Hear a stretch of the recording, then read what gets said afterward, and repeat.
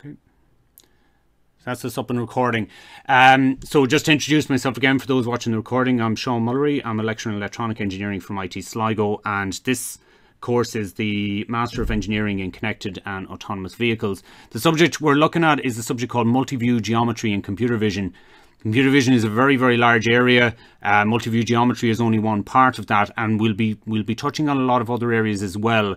It's just that specifically in this area, the the the idea of reconstructing 3D views from uh, from images is a very important one, and therefore that's what we're we're mainly going to try and work towards throughout the course. That means we're going to have to cover a lot of basic material as well. Before uh, we get into too much detail, I've I've left myself a, a free slide here to kind of make a little drawing for you, and uh, goes something as follows. Right, I'll kind of just draw bit of a, a cloud like that, okay? Now this is uh, what I'm going to refer to as the real world. You'll find by the way my drawings are not particularly good, but hopefully at least they'll be they'll be informative. So this is the real world, and the, the trouble with the real world is that it's very, very complex and chaotic and messy, and there's no way we can understand everything that goes on in it. It's, it's just not possible. From every butterfly that flaps its wings to every move that a, that a vehicle might make, um, to all the different possible weather conditions and so on that we could have. We can never understand it all or be able to model it all. So what we do in general is we try to model this or take some sort of abstraction from it. So we try to model some small section of it um, and we make uh, a mathematical model from that, okay, which I've drawn as a perfect square, well, sorry, a perfect rectangle in this particular case, um, because this is the thing with mathematical models, they're, they're, they're they tend to be perfect. We'll just call it a maths model. Save myself some time and space. So mathematical models tend to be they're perfect and um, mathematicians themselves would refer to a lot of the things that they do as elegant is is often the word they use because they, they want to pare it down to the absolute simplest thing that they can. They tend to use as few of variables as they can. So you'll you'll see things like they'll they'll start using Greek letters like alpha and beta and x and y in order to try and bring this bring some understanding of what's going on in the real world down to the fewest number of parameters that they can. Okay, now we think about maths as being complex and difficult, but in actual fact, in the majority of cases, what we're doing with a mathematical model is we're trying to simplify the world because the world is much more difficult than the mathematical model could ever describe. So even though you might find maths difficult, um, that's its its sole purpose is to actually simplify things. Okay, so even though it's a difficult language maybe to understand, it is a much simpler thing than than the entirety of the real world, which is is not something that we can follow. Now, one of the important things about this is that we we we don't just need to understand the maths that's in the model. Obviously, that's part of the job we have to do, but we also have to understand what the mathematical model does not cover. So there's going to be some some difference here between our maths model. Okay, there's going to be some difference there between our maths model and the real world. And these are the edge cases. These are the places where things don't work. So where our mathematical model does not cover all the crazy things that can happen. And it's generally in, in this space here where, um, you know, in terms of, of connected and autonomous vehicles, this is the space where somebody's going to get injured or harmed because our model or whatever we've built does not cover it. Okay, so it's not good enough for us just to understand our model and for it to be perfect. We have to understand what the imperfections are that are outside that. Now, as well as that, while these mathematical models are perfect, um, or usually perfect, there's a difficulty for us because uh, the maths is just, you know, we can write it in some elegant fashion on a page of paper or, you know, maybe on a pad like this, but, but we can't actually implement that in a computer without turning it into a, a computer model. So from here we go to something like this, which is a, a, a which I'll, I'll just call the computer model.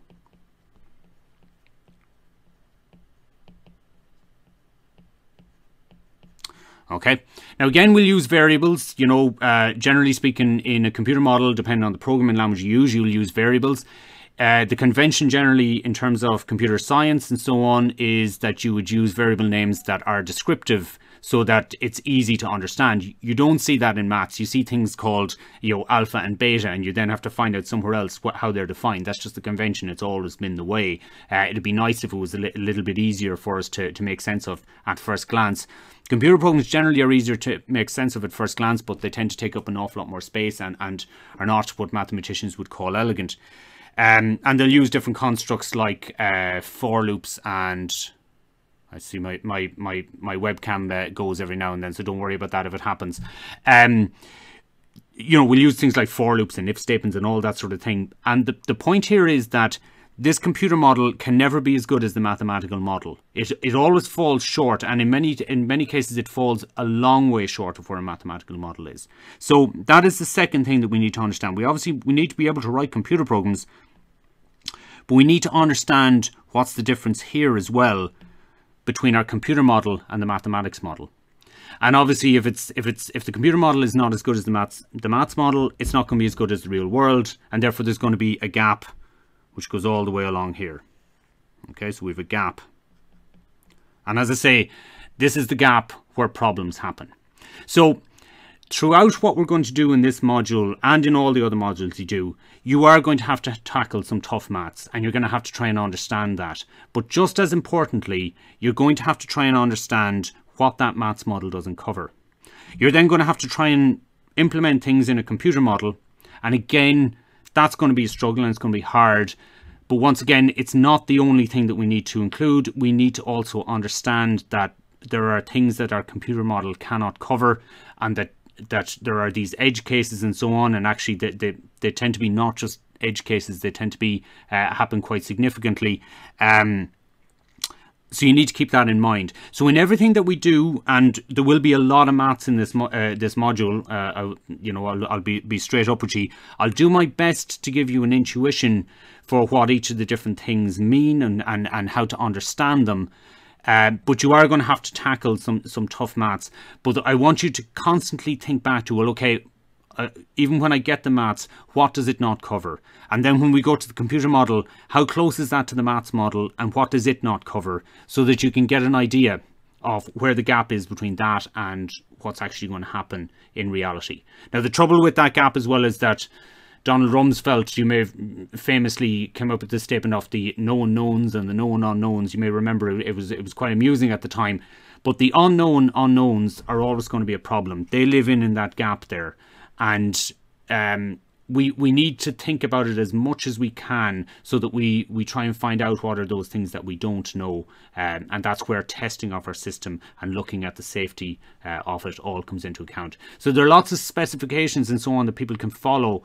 Um, you know there are different standards and so on that people follow. I'm sure with, with um, louise you'll be going through standards like uh, uh, is it 26262 and so on don't don't just slavishly follow standards for the sake of it. That can often make you feel safe. You do also need to remember, just have a think about well, where are the possible gaps here um, that that that could cause a problem, and what do we not know? Okay, so I'll regularly um, refer back to the very first slide that I showed you as I go through the as I go through the course in order to remind you that you know there, there are problems. This mathematical model doesn't cover everything. The computer model and so on doesn't cover everything. Okay, so we're going to start with some basic image processing tonight and you may well ask the question, why are we looking at image processing? Is this not computer vision? Now, some of you may think that image processing and computer vision are this, you know, one and the same thing, or they're all one homogeneous uh, group, and others may be very clear on the separation between the two. But one way or the other, image processing is going to have to be covered as a first stage of computer vision and that's why we will be looking at it. So while image processing is a large field in its own right, it's generally considered a task that changes an image in some way for the sake of the human viewer. And oftentimes computer vision is not for the human viewer, the computer vision uh, section is for a computer or a machine to make a decision. So in many cases, it's also the first stage of, of computer vision applications. And what happens in a situation where you have limited computational budget, such as in uh, uh, in in an autonomous vehicle or even in a, in a vehicle that just has a lot of computer vision, you know, um, ADAS uh, features, there's there's a limit on how much computation you can have. And that means that you can't have a separate image processing pipeline for every one of your computer vision um, algorithms that you want. In some some cases, you need to have one one image processing pipeline that suits all of those computer vision, and that can be a compromise. So this has actually risen uh, a lot of the image processing to be a very important uh, thing because it affects everything downstream of it. So it's generally thought of as a pre-processing step, which modifies the image in such a way as to make it more suitable for computer analysis. Now, to start with this, we start with the simplest of them. Um, these are point operators and point processes. Uh, so, and they can be called either and you'll see that there's a lot of things within this uh, within this subject area that has multiple names. So the simplest of the image processing operators are the point operators. These operators, uh, these are operators that manipulate or change each pixel in an image independently of the pixels that are around it. Now the pixels around it are, are called the neighbors of the pixel. And over the next few um, weeks, I'll we'll, we'll be detailing exactly what we mean by a neighbor and so on. Don't worry about it too much for the moment, but you can assume that uh, in this particular case, we deal with one pixel at a time as to how uh, as to what we do. And examples of point operators would be things like adjusting the brightness, adjusting the contrast of an image, maybe correcting the color. And we use we, we use terms like correction rather than uh, enhancement because in many cases what we're saying is some problem has happened to the color and we're trying to get it back to what it should naturally look like. So sometimes we call these things corrections rather than enhancements. And color transforms is another one where we want to change from one color space to another. And again I'll be mentioning those as we go by the way, don't don't don't be afraid to interrupt me and ask questions as we go. Your your comments won't appear on the screen uh, in the recording, but I can see them here on another screen. So if you have any questions, I generally uh, I, I, keep an eye on it and I can see you uh, see you typing. So I'll. Uh, I'll wait for the question to come in. So if you do have any questions, don't be afraid to ask. Um, I've given the, the kind of extra time so that we can uh, go through this at a, at a reasonable pace. Now, an operator um, in image processing is a function which takes a pixel value and produces a new pixel value from that. So here's um, a mathematical description of it. And at, at first, um, if you're the sort that's a little bit a little bit worried or afraid about uh, about maths, you might look at this and go, you, you, know, there's lots of letters there, there's some arrows and so on. What what what does it all mean? How am I to to make sense of this? So you need to think about these things as, you know, whenever you see the brackets here, this is very much similar to if you've done any computer programming at all, which I hope hope you have. These are just the same as functions in computer programs. In a computer program, in a function, we, we pass in some parameters, it does some operation, and it returns some values to us. Now, if you've ever written uh, some large programs, what often happens is you you'll write the function prototype first. So you'll you'll write some sort of a this is what the function will look like. We'll pass it this information. We'll get this information back. I haven't written the body of the function. I haven't told you exactly what the function does yet, but this will be the general form of it, and that's what we have here. So the first uh, the first thing here to look at is f, and f is our current image. We've just called it f. That's what mathematicians do. If this was in a software, we'd probably call it image or image A or image B or something like that. But or input image, something like that. We give it a more meaningful name. But in maths, we have a tendency to just call it, uh, you know, some letter or otherwise. So it's a function. And what happens is that we pass it in this parameter. Now, uh, I was good in the first few sets of notes, uh, but I'll, you'll probably see that it'll trail off a little bit later. Uh, I haven't been so good at uh, separating things as vectors or matrices or otherwise and using the proper notation. But this this is uh, one notation for a vector. It has a little arrow on the top. Very useful if you're if you're if you're handwriting this stuff. So uh, this is a vector x, and that actually represents two values, an x and a y value. So we go a certain distance uh, over and a certain distance down or up depending on, on how, how we deal with the situation. Okay, so x will contain both an x part and a y part. Okay, so what we do is we say uh, there's some image here. We go over x and down y some distance. We find the pixel that's there. We find what its brightness value is. And we return that. Okay, so what will happen within within the, the brackets of the h here is that we will return a brightness value. Now that then goes in as a parameter into the h function. So the h function is some operator. It does something to the brightness value. So it gets the brightness value And again, it has some function associated with it. We haven't de defined what, what that might be yet. It could be any of, of, of a load of different functions. But it'll make some change to that brightness value. And what it does then is it passes it over. Uh, it passes it over to this new image which we've called G. And that new image G, again, we've got, uh, we, we go for the exact same pixel as we went for before. So we go over X down Y in G. And um, at that point, what we do is we, we substitute in or assign it the new brightness value that we've calculated from our H function. Okay, so that's what we mean by, by this maths. And as you can see, I've talked for maybe two or three minutes about it there, but a mathematician can write that down in a very, very concise form, and it and it has a very um, you know very clear message as to as to how this this function will work. Okay, so we've one function inside a function, we make an operation on it, and we pass it over to the other one. So usually for an image in the continuous domain, so rather than discrete, which most of our images are discrete, um, this x vector here would be what we say is in R2. So that's how you how you how you would word what's written there. X is in R2. And R stands for the real numbers.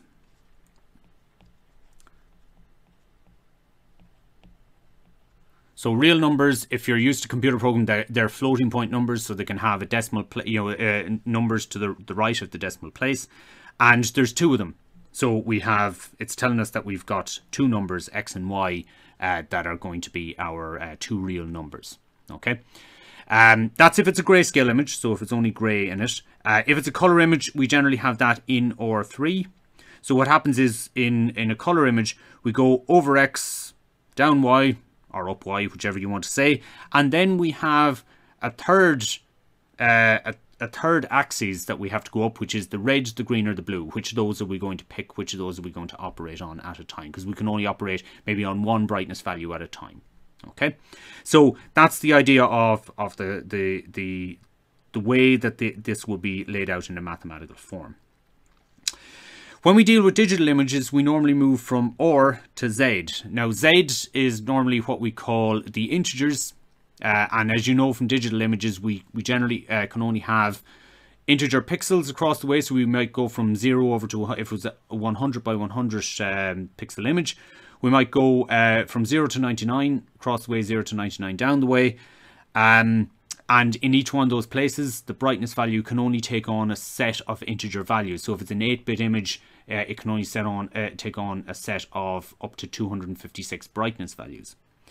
That said, most of the literature, the textbooks, the the uh, the papers that you will read, they'll just say or they won't bother saying Z, and I will do that as well from from now on. Part of the reason they do that is for simplicity, but I think part of the reason as well is that they don't want to be confined to what happens in a particular digital image. They want to assume that this is continuous until the last minute, at which point they have to put it into an actual computer and into a digital image. So this means that digital images are discrete or sampled images and each pixel has a location in a 2D plane. Um, so X is uh, X is a vector, uh, I, J, and we'd normally write that with a little t there for transpose because we'd normally write this as a vector with I and J there like that. Um, but I, I, don't always stick to that. I'm, I'm, I'm, I'm not a good mathematician from that point of view. Um, and therefore our, our new image G would come from this information over here. Okay, so F and G are images. H is the pixel transformation that gets us from the image F over to the image G. Okay, this is kind of the, the mathematical notation that they use. So let's look at it at an example transformation, and it's this one here. Uh, so we can see that this is this is going to be our output image here, G. Um, we have our input image F, uh, which again is uh, parameterized or you know we, we, the parameters we put into it are some some uh, position in the image um, and then we have an A and a B there so the question is what will this do okay so what this will do is firstly the A here will multiply each pixel brightness by a value A so we go into some position X into the image so over X and down Y and we get the brightness value that's there and we multiply it by some constant A. Now you might think if we multiply it by A it must get brighter But in actual fact, a could be a number that's smaller than 1. So it could be 0.5, in which case we would multiply it by half and we'd actually be making it darker. So that could be making it either brighter or darker. This does not specify, this, this equation does not specify whether we're making it brighter or darker. We can do both. Um, so that's the multiplication, but the plus b then, while b, um, the plus b simply adds a constant brightness value to b, and it'll add that same constant brightness to every different pixel. Um, so you'd often call, a would often be called a gain and b a bias. And you may also notice that um, this, uh, this here is the equation of a line that intersects, okay? So it's the equation of a line that intersects the y-axis at, uh, in, in, at some point. So you could graph this function against the input pixel brightness uh, brightness range and see what value of the output pixel brightness uh, the value will be. Okay, I can see Vin is asking a, a question there, so just uh, while he's asking, I'll, I'll, oh, he stopped. I hope it didn't frighten you away. Okay, so um, that's in fact what what what I've done here. So uh, we've we've an image here uh, which is was from the launch of the course there about a, a week or two ago, and um, what I've deliberately done with this image is I've um, so Vin is asking would A be enhancement? It it may it may be enhancement or it might be correcting for something. So we'll, I'll actually mention that here in a second, and you can then decide yourself as to whether you would consider it enhancement or um, or that. Is bias an offset? Yes, just another term for an offset. Absolutely, yeah. And we'll see that here in a moment. Uh, it'll, it'll be a little bit more definite. So uh, rather than doing this in a computer program, I've done this in a uh, I've done this in Photoshop so that I have a nice little graphical view of it to, to show you. Um, this uh, this histogram here was done in Python, uh, but this is Photoshop here, and that's where I did my manipulation of this. Okay. So I've started with an image here. I've deliberately made it a little bit dull to start off with. So you can see that I'm, I don't have perfect blacks or perfect whites in it and I haven't used it all. Could I just get an idea and give me a Y for yes or an N for no? You don't need to type a whole sentence. Uh, y if you if you know a little bit about uh, histograms and N if you've never come across a histogram before.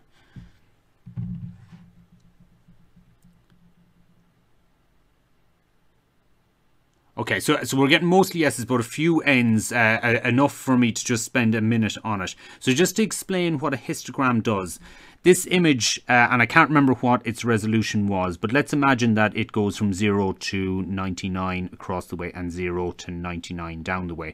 Now, this this tends to be a bit of a convention with images that we tend to go down the way rather than up the way but don't, don't worry it, it could be the other way around. Don't don't be too concerned on that okay? And we've got all these little boxes uh, I'll maybe draw these with a, with a white. We've got all these little um, all these little pixels here across the way. And they have some brightness value associated with them. Now what the histogram does is because our brightness values can vary in an 8-bit image, they would vary from 0, which is pure black, up to 255, which is pure white. Okay. And what we want to do is we want to go throughout the image. And if this was, you know, this what we're showing here is, is 100 by 100, which is 10,000 in all. And I have a feeling I have far more pixels in it than 100 by 100. So that would that would be uh, 10,000 in all. Um, uh, give me one second, Niall, and I'll answer that uh, that for you in a second. Um, so there, so there would be ten thousand pixels uh, in all in this, and what I want to know is, I want to know how many of those pixels are zero. How many of them are a, are a brightness of one? How many are a brightness of two? Right up to how many are a brightness of two hundred and fifty-five? Okay. Now to answer, uh, and that's that's what we show here. So this shows me how many are of each brightness value. So if we zoom in on this, we can see that we go from 0 here up to 255 which is not we, we, don't see any pixels there but it does actually go up to that value there okay? So this is a recording and you can think of this a little bit like something like exam results. How many students got zero? How many students got one? How many students got two? Right the way up to how many students got a 100 okay? Uh, to go back to Niall's question which is um, I'm assuming, Niall, you're probably not from an electronic engineering background. Uh, you, are from some other background. Um, most of us use this almost without thinking. Yeah, no, that's that's that's no problem. So generally speaking, in a digital system, uh, we count in binary, and uh, in binary, uh, so transistors and so on, they only they can only be one or zero. So um, to do that, we we work in uh, powers of two. So two to the sorry, just change that. Two to the power of eight is 256. And that would allow us 256 possibilities, which is 0 to 255. And that is the size of a byte of information. So 8 bits is the size of a byte of information. Who exactly decided that it should be 8? Well, again, 8 is another power of 2, so it makes sense that that might be one uh, it rather than 10. Um, so from those conventions on the way, we have a tendency to work in things like 8 bits or 16 bits or 64 bits and things like that. And so that's where that, that number comes from, 0 to 255.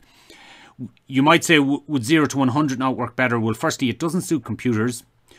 Uh, there is a number closer to 100, like 127. But unfortunately, in terms of images, this is just a little bit too close to the fact that we could, that a human eye can actually see the difference between the jumps. Uh, whereas if we go from brightness value 0 to 255, the jumps in brightness between each separate uh, separate value is too small for the human eye to see, and therefore that's why they went for, for 8 bits. So that's where that number comes from. Uh, but we do have larger images as well. We, will have images which might be 16-bit or otherwise. Now, what I've done uh, here is I have I've done a bit of an offset here so an offset or a bias, and I've decided on a bias of, of, of 20. So I've decided on a bias of 20. So that's my B. So B equals 20. And I've offset it up to there. The second thing that I've done is I've changed my value of A. Now the value of A in our particular case is to do with the slope. So this is the original slope here that we can see here. And so it has a particular slope and it's basically just a one for one slope okay um, but this, as you can see, is a slightly bigger slope than that. Now, I happen to know the values that I picked. I picked this value up here, which is 180. So if you want to know what the slope is here, it's quite easy. This is the zero point down here. So uh, my, what, what we'll call my, um, my run here over the entire thing, sorry, is 180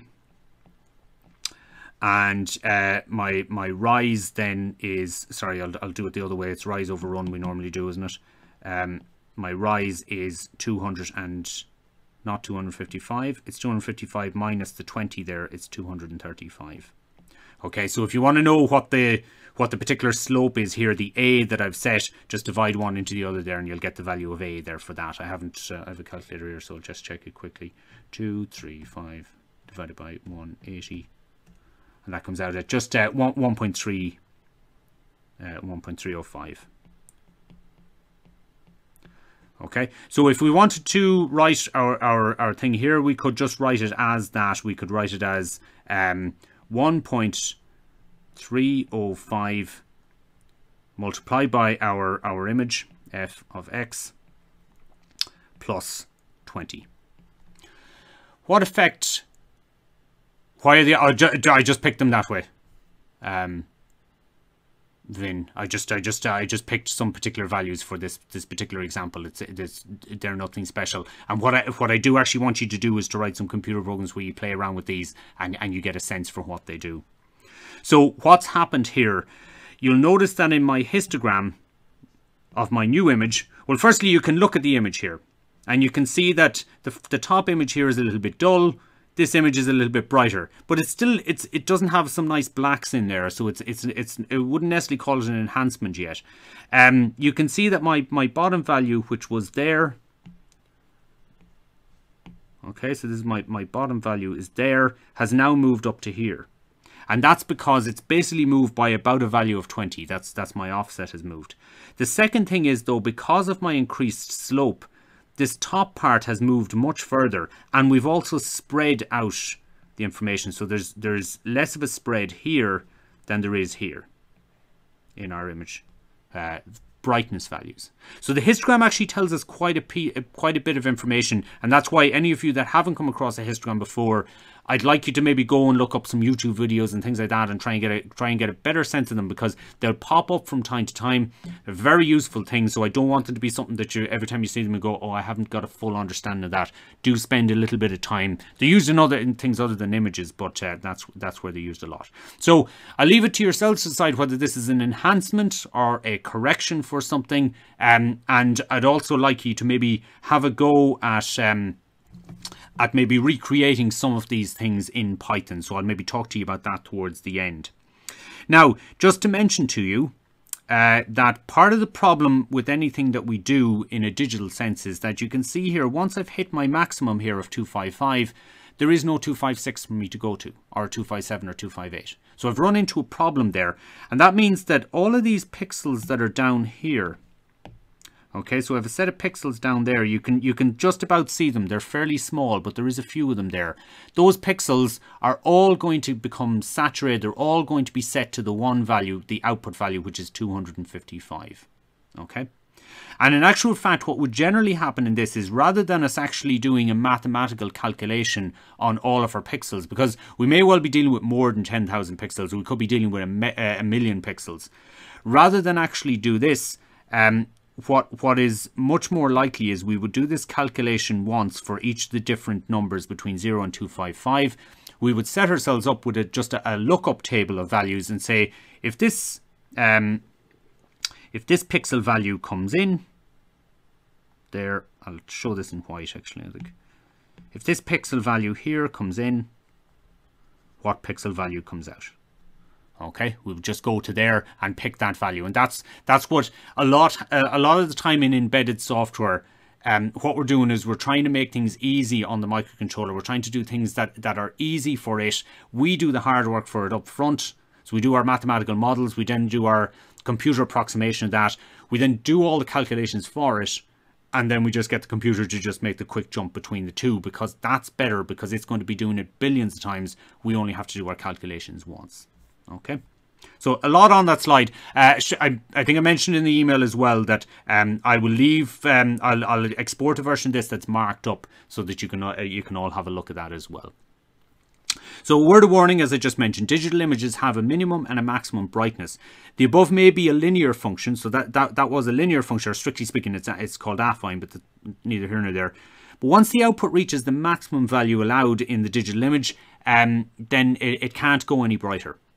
So this is important for two reasons. Firstly, we lose any information that hits the maximum value. So later computer vision algorithms may not be able to, to do anything with it. We've lost, it's gone, and we're not getting it back. There's no, no reversing of it.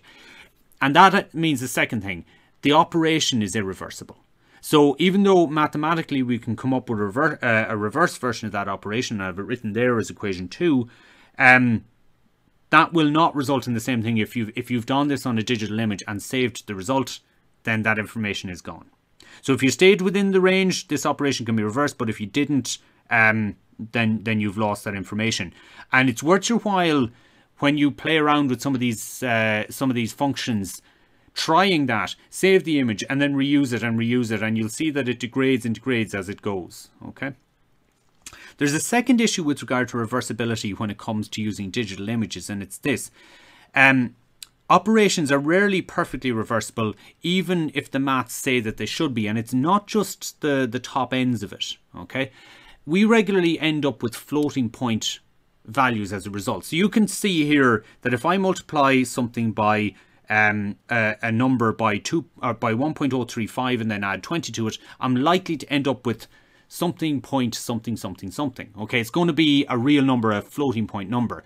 Now the problem is my digital images are only permitted to hold integers between 0 and 255. So I'm going to have to round it up or round it down somewhere along the way. In doing that, I'm losing information every time I do. So every time you convert, you do a, you do a process on an image, and you then convert it to digital, you've lost some more information and it will continue to degrade and degrade as we go. So pro tip here is that whenever you're doing any image processing on, uh, on an image. Don't change it back into a digital file and don't change it back into digital numbers until you've done all of your processing. Because if you do, you lose precision at each point along the way. So it will be problematic for you and it will not be as good a result in the end. And you can even see, and you'll see this in some of the other examples, um, this this histogram here, there is one little gap there, and that's because I actually did some image processing on this before we before we started, and there's a telltale time, uh, uh, sign there. But you can see these big gaps um, in the middle here, okay? And those gaps are formed by the fact that we've had to round up and round down, and our um, the manipulation that we've done has naturally led to some uh, integer values happening more often than others okay? Um so you will you'll start to see that sort of thing happen and it'll happen more and more. You'll start to get these bigger and bigger gaps uh, between your your your um, brightness values and that will then show up to the human eye as well. As I say the human eye can't see the difference if it's if it's a small enough brightness gap but as those gaps be, begin to come lar become larger the human eye will see them. And of course if you have any computer vision algorithm it may start to miss subtle things that could be there. Now uh, previously, what I did was I multiplied by just a constant value, a number like A, and I added on a number like B. But there's no reason to suggest that I can't have another, a, a function called A. Okay, so I can have a function called A, and therefore the number that I multiply by depends on my position in the image. So I get my brightness value in the image here, but I decide my value of A based on where I am in the image. So I'm going to multiply different pixels at different positions in the image by different amounts. And I can add on a different amount depending on where I am, I am in the image. Okay. Now again, we haven't defined exactly what what this A function is going to look like. So we haven't defined where we are, you know, how, how we're going to deal with different pixels differently. We're just saying here that we can, and this opens up the world of, of possible things that we can do in order to manipulate an image. So both A and B are functions of x here, where x is, is this um, two vector, in other words, there's two positions in it, instead of just constant values, which means that their values vary depending on position. So what are the functions A and B? Well, they're not defined here, so so they could be anything. So I want you to consider the the the possibility of a thing called a graduated filter, and I'm going to show you that as an example here. So once again, we've one one of the images from uh, from the launch. I'm cheating a bit here, and I'll explain to you how I cheated in a moment. But here's the the start image. now what we can see here uh, fine is we can see the cars and we can see the ground here no problem but we've we've got no real information here in the sky it's it seems to be it seems to be gone. We, we, we can't tell anything about what the sky was like because the sky was too bright compared to the rest of the image. Now you could also say that maybe the image was overexposed and we could have, could have gotten away with a little bit darker of a ground here. That's certainly true. But then again, we've got a black car and would we necessarily get all of the all of the detail there in the blacks of that and the whites of this, the chances are that many image sensors will not be able to hold that full dynamic range of, of brightness values. Okay. So what we can do is this can be our function. Now this, this function is just the A part rather than the B part. Okay, so it's just a function of X. And what we're basically saying is the top parts of the image, we're going to multiply that by a small number. Okay, so I'll uh, write it here. So small numbers here and the bottom parts will multiply by larger numbers.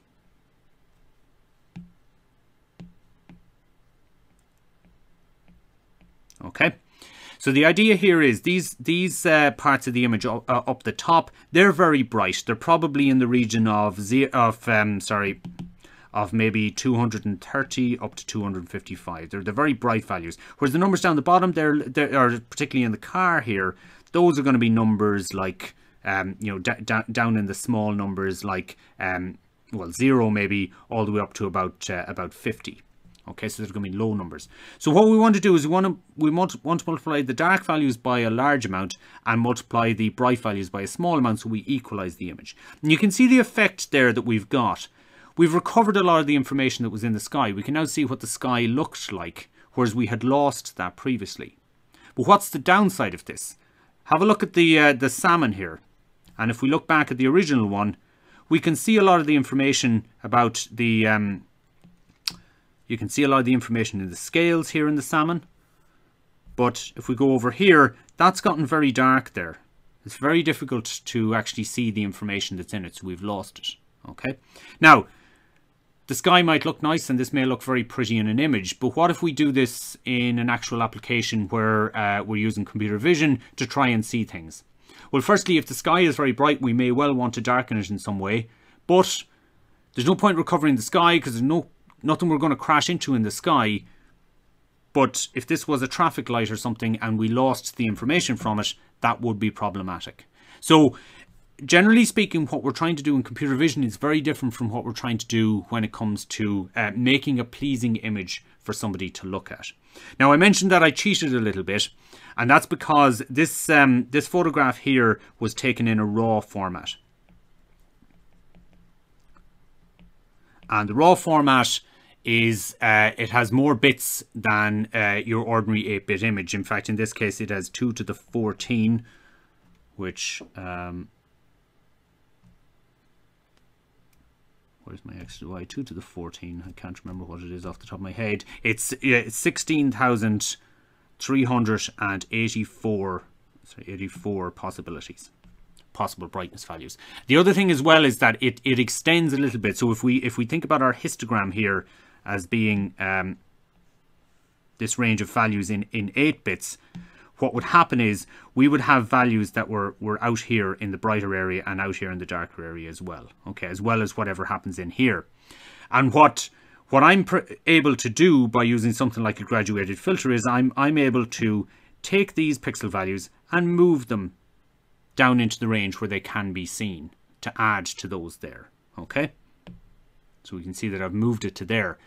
Um, but if you were to get this as an ordinary JPEG image or something like that, or as an 8-bit image, at that stage, we've already lost that information that's up there. So there's no recovering it to look like the sky over here uh, even when we use a graduated filter, all that would happen is that we would end up with a darker, a darker sky, but it would still look uniform and grey. It'd be a lower value, but we wouldn't recover the information. So that can certainly be the case. And this is an example of what I what I pointed out earlier, where with digital images, if we lose it, there's no getting it back. Okay. As it happened, I happened to not not lose it. It was still in there in the information in the image, um, but uh, that will not always be the case. So oftentimes you'll want to do these operations before you get too far into the system so that you can recover a lot of the information.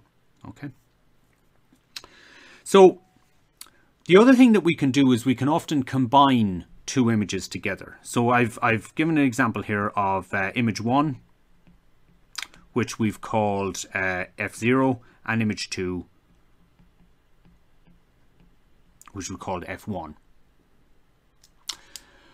Now, uh, Vin here is an information. What format preserves more information? So, uh, with regard to the number of bits and so on, um, the more bits you have, the more information you preserve.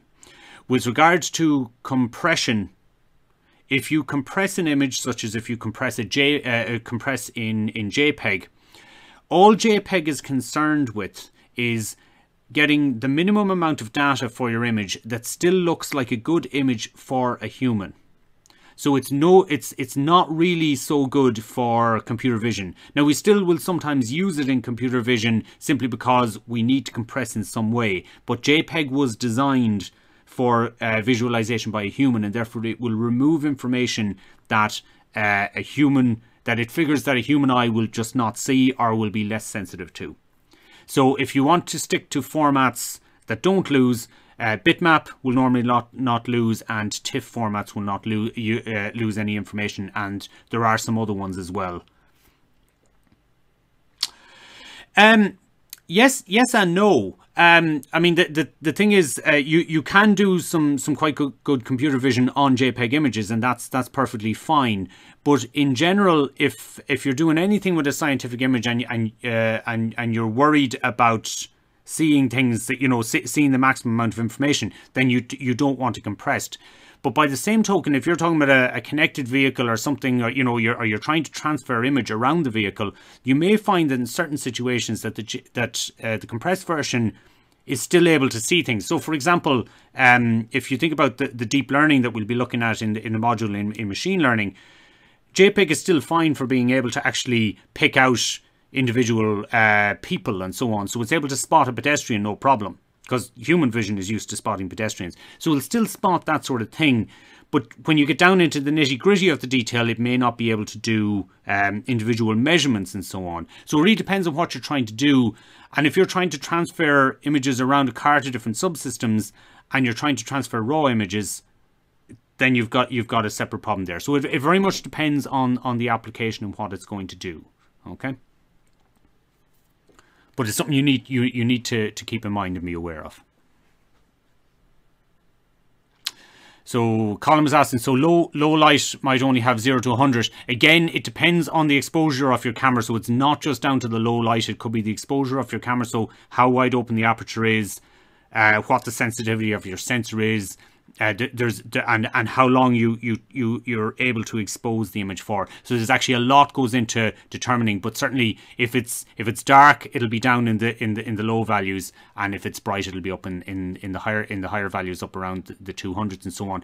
But again, this is something that I'd like you to play around with so that you can get a good sense of it, rather than just getting a, a very strict answer on it.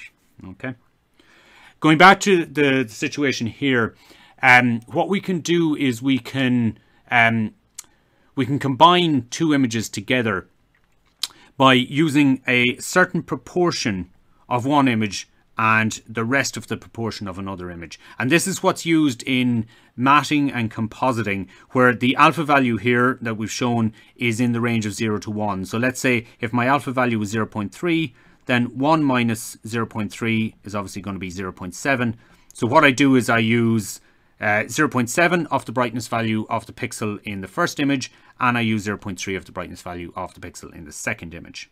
And I put the two of them together. So you, you can you can composite images in that way. Again that will have uses in computer vision as well uh, where we want to take to take things from two different places. But it's it's it's much more associated with with image processing where we're trying to make something look good for for um, for a human viewer. But if you think about things like um, virt- uh, not virtual, but augmented reality and so on, where we want to place something into the picture and make it look real, um, then then absolutely we have to use these sort of things. Okay.